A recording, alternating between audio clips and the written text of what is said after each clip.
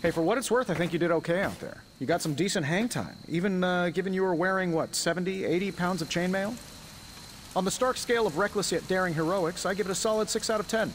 Don't worry, you'll get there. With a little help.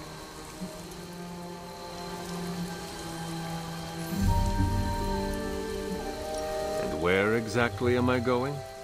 Oh, that's the real question, isn't it? Sky's the limit for you, my friend.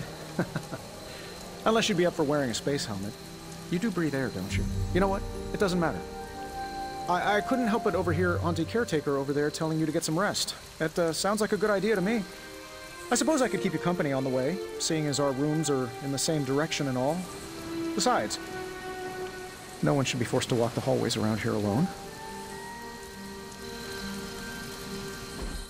So, here we are. The old room, huh? It's, uh, it's not bad. Functional. Solid construction. Almost cozy. Love the antique furnishings from the early Mephisto collection. Full transparency, Hunter, there's another reason I asked to join you here, other than my abject terror of this entire facility. Stopped here before, while you were out.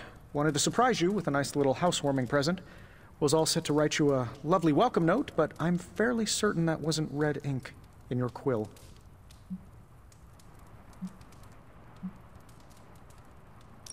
But I do not have a quill. Even better. Relax, Tony. I simply jest. It is an ink derived of the spider lily flower. Red spider lily flowers. Of course it was. Obviously. With just a touch of amphibian blood for power. Haha! Another zinger. And we'll just leave it at that. Well, I suppose I should leave before whatever monstrosity that is most definitely hiding under your bed jumps out, rips my face off, and then proceeds to feast on my soul. I'll leave you to it. May your sleep be filled with pleasant dreams, Tony. Right back at you. Oh, and if you hear the shrieking of a grown man, please ignore it. It's just me, walking to my room,